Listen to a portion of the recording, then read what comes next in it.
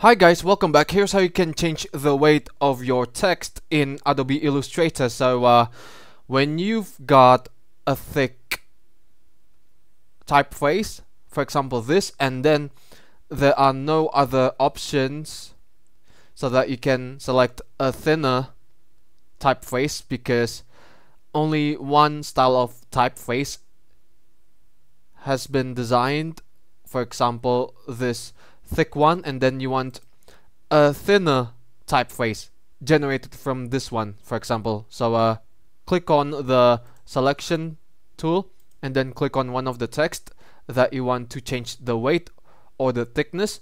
So uh, let's say we have a black typeface which is a thicker typeface.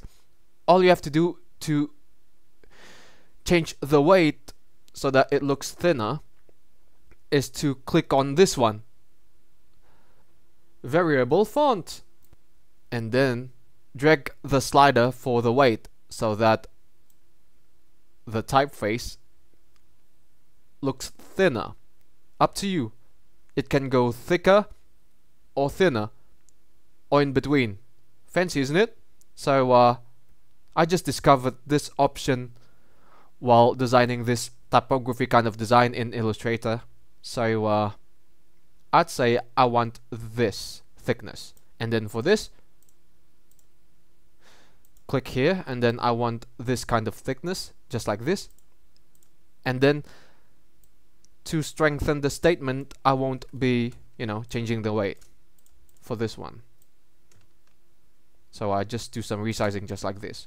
And then I'm going to make the weight thinner. Click here and then afterwards you make it thinner just like so and then you uh, do some tweaks with the positioning just like this. And then I would like this to be thinner. Click here. And then um, change the weight to this. So that it doesn't look so thin just like this. Resize it.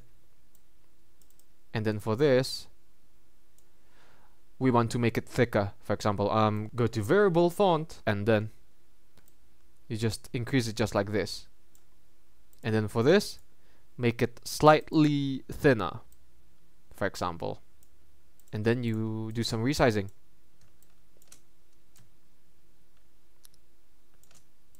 Just like so. And then when you're done you're done.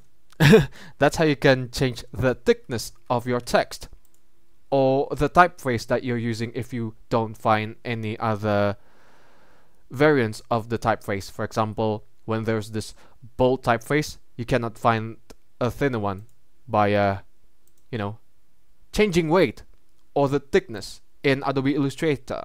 Thank you for watching guys. Give it a like, comment, and don't forget to subscribe to the channel. But from me, it's good day. Ciao.